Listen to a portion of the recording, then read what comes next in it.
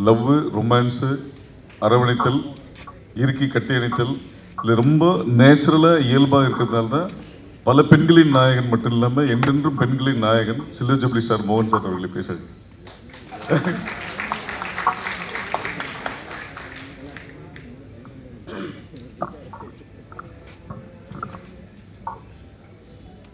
உயிர் ஊற்றிய ரசிகர் ரசிகர்களுக்கு என்னுடைய பணிவான வணக்கங்களை தெரிவித்துக்கிறேன். இங்கே வந்திருக்கும் நம்ம ப்ரெஸ் மீடியா டிஜிட்டல் மீடியா அவங்க எல்லோருக்கும் என்னுடைய வணக்கத்தை தெரிவித்துக்கிறேன். இங்கே எங்கேருந்து ஆரம்பிக்கலாம்னா நாற்பத்தஞ்சு வருஷம் பயணம் பண்ணுறாங்க இருந்தாலும் என்னோட முதல் படம் கோகிலா. அதை பற்றி கொஞ்சம் சொல்லணும்னு ஆசைப்பட்றேன். ஏன்னா என்னோட முதல் படத்திலேயே திரு பாலு மகேந்திரா சார் என்னோடய குருநாதர் அவரால் தேர்ந்தெடுத்த நம்ம சீனு ராம்சாமி பிரதர் அவரோட யூனிவர்சிட்டியில் நான் மூத்த பிள்ளை அவரோட கடைசி பிள்ளை. இன்றைக்கி ரொம்ப எனக்கு சந்தோஷமான விஷயம் அவர் இங்கே வந்திருக்கிறது. ஏன்னா பாலு சாரை பார்க்க போவோம் எப்படியாவது பாலு மகேந்திரா சாரை வீட்டிலேருந்து யாராவது பார்க்கணும் எங்கேயாவது பார்க்கணுன்னு ஒரு சன்னை வி விசாரித்தோம் பேசணும் ஒய்ஃப் கிட்டே பேசணும். அன்ஃபார்ச்சுனேட்லி இந்த டைமில் அவர் சென்னையில் இல்லை அவங்க எல்லாம் வெளியூருக்கு போயிருக்காங்க. அந்த ஒரு பெயினை எனக்கு இங்கே சீனு ராமசாமி அவர்கள் பார்த்து வந்ததில் ஏன்னா அது பாலு மகேந்திரா சார்னாலே அது ஒரு யூனிவர்சிட்டி அவர் அவர் மாதிரி ஒரு டிசிப்ளானா டிசிப்ளினான ஒரு கம்ப்ளீட் ஃபிலிம் மேக்கர்னு சொல்லலாம். ஏன்னா அவருக்கு எடிட்டிங் தெரியும் ஸ்கிரிப்ட் தெரியும் டயலாக் தெரியும் ஃபோட்டோகிராஃபி தெரியும் டைரக்ஷன் தெரியும் மேக்கிங் தெரியும் மியூசிக் சென்ஸ் இருக்குது எது இல்லை அவர்கிட்ட. அப்படிப்பட்ட மகான் கிட்ட நான் முத முதலாக அறிமுகமானது என் என்னோட பாக்கியம். அந்த கோகிலா படத்தில் அண்ணன் கமல் அவர்களோட ரோஜா ரமணி மற்றும் சோபா இந்த நாலு பேர் தான் நடித்தோம் அதில் ஒரு சின்ன உண்மையான சம்பவம் அதை உங்களுக்கு சொல்லிடுறேன் இன்னைக்கு. முதல் ஸ்கெட்யூல் பண்ணதுக்கப்புறம் நான் ட்ராமா ட்ரூப் பெனக்கான்னு ஒரு மிகப்பெரிய லெஜண்ட் பிவி காரன் திரு அமைச்சூர் ட்ரூப்பில் இருந்த காலேஜ் பீரியட்லேயே அந்த யூனிட்டில் இருக்கிறவங்க எப்படி இந்த படத்தில் நடிச்சிட்டு இன்ஃபேக்ட் பைதாவே அந்த படத்துக்கு தாடி விட்டுருந்தேன். அதுக்கப்புறம் இப்போ தான் தாடி விட்டுருக்கேன். அது எப்படி தாடி இருக்கேடா வாடா நம்மளெல்லாம் போய் போயிட்டுருக்கோம் ஒரு படத்துக்கு நீயும் ஏன் நடிக்கக்கூடாதுன்னாங்க. சக்கன் வண்டி ஏறி போயாச்சு. பதினெட்டு வயசு பத்தொம்பது வயசுன்ற மாதிரி. ஸோ அந்த வயசு போனதுக்கப்புறம் அப்போல்லாம் இந்த மாதிரி எதுவுமே இல்லை. நெக்ஸ்ட் மந்த்து இங்கே இங்கேருந்து பவன மகேந்திரா சார் கமல் சார் ஷோபா ரோஜாரம்னு எல்லோரும் பெங்களூர் வந்திருக்காங்க. எனக்கு தெரியவே தெரியாது. மூணு நாலு நாள் ஷூட் பண்ணியிருக்காங்க வெயிட்டிங் எனக்கு எனக்காக எனக்கு தெரியாது. எங்கள் வீட்டுக்கு ஃபோன் பண்ணியிருக்காங்க லேண்ட்லைனில் அப்போல்லாம் இந்த மாதிரி மொபைல் சர்வீஸ் இல்லை. அந்த லேண்ட்லைனில் கூப்பிட்டு போகும்போது எனக்கு நான் எங்கேயோ காராப்பூர் ஃபாரஸ்ட்குள்ளே ஷூட்டிங் அங்கே ஒரு ஃபோன் கனெக்ஷன் இல்லை ஒன்றுமே இல்லை. எனக்கு தகவல் வந்து டெலிகிராம் மூலமாக வந்து நான் வரதுக்கு கிட்டத்தட்ட ஃபோர் டேஸ் ஆகிடுச்சு ஃபோர் டேஸில் இங்கே வர பார்த்தா பயங்கரமாக வார்ஃபீல்டு மாதிரி இருக்குது லொக்கேஷனில் ஏன்னா அப்போது மிகப்பெரிய பாப்புலர் அப்போவும் இப்போவும் கமல் சார் அப்போ வந்து அவரோட கால் ஷீட் வந்து கிடைக்கிறதே கஷ்டம். அவரோட கால் ஷீட் மிஸ் பண்ணிட்டோமேங்கிற ஒரு சின்ன விஷயம் பாலமகேந்திரா சாருக்கும் அசோசியேட் டைரக்டர் சிவானந்த் சாருக்கு எல்லாம் இருக்கும். எனக்கு என்னென்னா எனக்கு தெரியாதுங்கிறது ஒன்று தான் ஐ வாஸ் இக்னரண்ட் அப்போ எல்லோரும் கோச்சிக்கிட்டு ஏன் இப்படி பண்ணேன் அப்படி இப்படின்னுட்டு இருக்கும்போது கொஞ்ச நேரம் அப்படியே சைலண்ட்டாக உட்காந்துட்டு இருந்தாங்க. அப்புறமா கமல் சார் வந்தார். ஆஸ் சார் எல்டார் பிரதர் வந்து கேட்டார் எங்கே போயிருந்தீங்க என்னாச்சுங்க அப்போ நான் சொன்னேன் இந்த தெரியல சார் இன்னொரு படம் ஷூட்டிங்கும் முதல் படத்துலேயே இன்னொரு படம் வந்திருக்குன்னா ரொம்ப நல்ல விஷயந்தான் but make sure you have the one diary call ஷீட்டன் இருக்கும். நீ தான் கேட்கணும். உனக்கு வந்து சொல்லணும்னு. இல்லை சார் அதெல்லாம் எனக்கு தெரியாதுன்னு தெரிஞ்சுக்கும் you make sure that you write down the call sheets of any film அப்போது நீ கிளாஷ் பண்ண கால்ஷீட் டேட்ஸை டேட்ஸ் கன்ஃபியூஸ் ஆகாது அப்படியெல்லாம் சொல்லி நான் சொன்னார். அதை அப்படியே ஃபாலோ பண்ணேன். ஐ am so happy Kamal sir அன்னைக்கு எனக்கு தனியாக கூட்டிகிட்டு போய் இது சொன்னதில் எனக்கு பெருமை இருக்குது கோகிலா படம் சொன்னாலே இன்றைக்கி பார்த்தாலும் அப் அப் அவ்வளோ அப்டேட்டடாக ஃபிலமாக இருக்கும். சின்ன ராமசாமி சார் பார்த்துருப்பாருன்னு நினைக்கிறேன். Black and white film but one of the extraordinary films அதோட சிறப்பு என்னன்னா கமல் சாரோட ஃபேவரட் ஃபிலிம்ஸில் அது இருக்கும். ஷோபா மேடமோட ஃபேவரட் ஃபிலிம்ஸில் அந்த படம் இருக்கும். ரோஜா ரமணி ஃபேவரட் ஃபிலிம்ஸில் அது இருக்கும். மோகன் ஃபேவரட் ஃபிலிம்ஸில் அது இருக்கும். That is the greatness of Balu Mahendra sir. அவர் வீட்டிலேருந்து யாரையும் கூப்பிட முடியலையே வர முடியலையே மீட் பண்ண முடியலையே போது இன்றைக்கி சீனு ராமசாமி ஒரு அந்த யூனிவர்சிட்டியில் வந்தது எனக்கு ரொம்ப பெருமையாக இருக்கு. ஹரா இது வந்து என்ன சொல்கிறது என்னை வந்து சீனு ராமசுவாமி அவர்கள் சொன்ன மாதிரி ரொம்ப ரொம்ப டிஃப்ரெண்ட்டாக ரொம்ப நல்ல கன்வின்சிங்காக எடுத்துகிட்ருக்காரு விஜய் ஸ்ரீ ஜி அவர்கள். இதுக்கு உழைப்பாளி நாயகன் முரு ஏன்டா, நிக்கில் முருகன் அவர்களும் முக்கியமான காரணம்.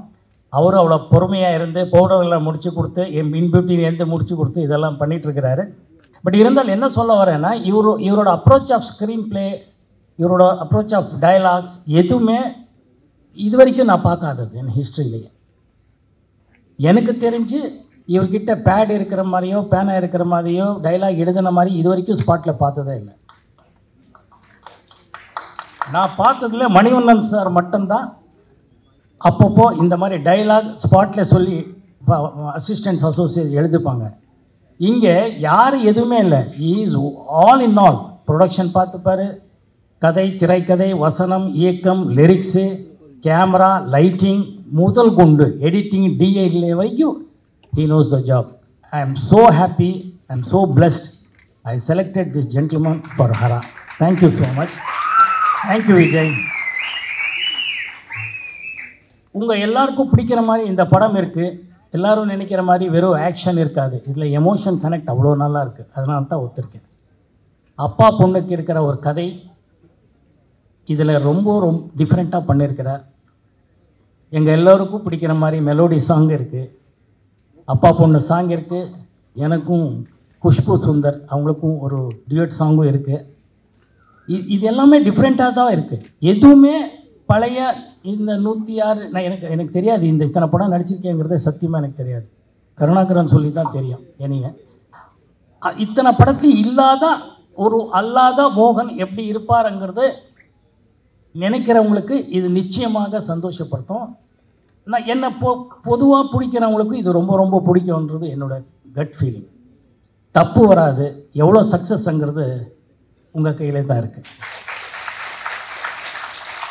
எப்போவுமே என் நான் வந்து படங்களில் நடித்தாலும் நடிக்காட்டியும் என்னோட கூடவே இருக்கிறது என்னோட ஃபேமிலிங்கிறது தவிர நீங்கள் தான்.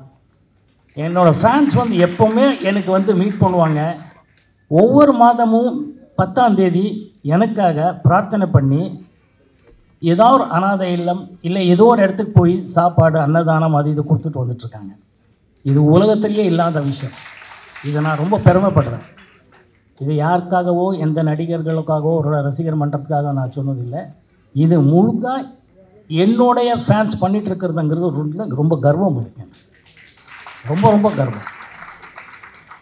இந்த நாற்பத்தஞ்சாவது வருஷங்கிறது கூட அவங்க வந்து கேட்டாங்க. நான் சொன்னேன் வேண்டாப்பா எதுக்கு இது பண்ணுவோம்? வர முடியட்டும் அதுக்கப்புறம் பண்ணிக்கலாமா என்ன இல்லை இல்லை சார் நாங்கள் பண்ணுறோம் சார். உங்களுக்கு என்ன சார்? நாங்கள் பண்ணிக்கிறோம் போது தான்.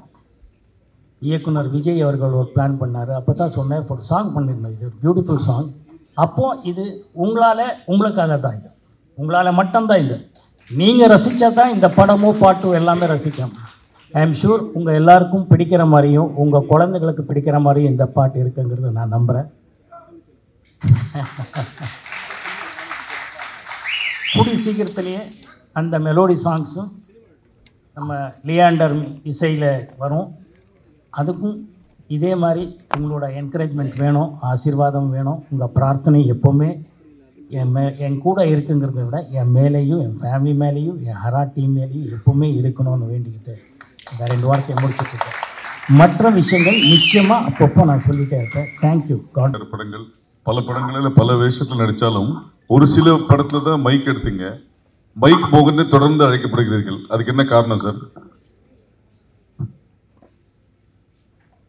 ஒரு சில படத்தில் மட்டும் தான் மைக் எடுத்தீங்க. ஆனால் இன்னைக்கும் மைக் மோகன் சொல்கிறாங்க அதுக்கு என்ன காரணம்? இன்னும் இல்லைங்க. இப்போ கூட கையில் உங்கள் கையில் தான் மைக் இருந்துச்சு. ஆனால் எனக்கு சொல்கிறீங்க நான் என்ன பண்ணுறது அது வேறு ஒன்றுமே இல்லை. என்னோட நான் இத்தனை படத்தில் நடிச்சிருந்தாலும் சிங்கராக நடித்தது வெறும் சில படங்கள் தான்.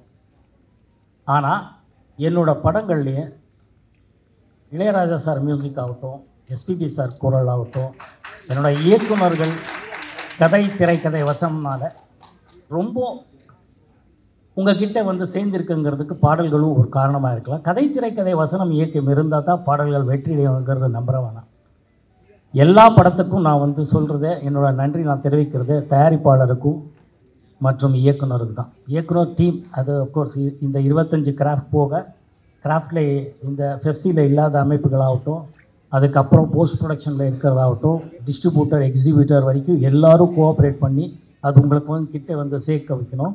அதுக்கு நண்பர்கள் ஜெர்னலிஸ்டெல்லாம் ஹெல்ப் பண்ணணும் எல்லாமே எல்லா கூட்டணியும் கரெக்டாக இருக்கும்போது இயற்கை நமக்கு ஹெல்ப் பண்ணுங்கிறத நம்புற வேணாம் என்னன்னா பாடல்கள் வெற்றி அடைஞ்சதும் நேச்சுரலி நான் மைக்கு அப்படின்னு சொல்கிறாங்க மைக்கு சம இன்னும் எத்தனையோ விஷயம். நான் எய்ட்ஸில் இறந்துட்டேன்னு கூட சொன்னாங்களே.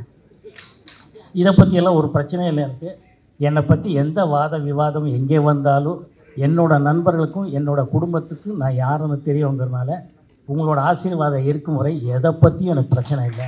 நல்லா இருக்கும். தேங்க்யூ மோகன் சார் அவர்களுக்கு ஒரு சின்ன நினைவு பரிசு.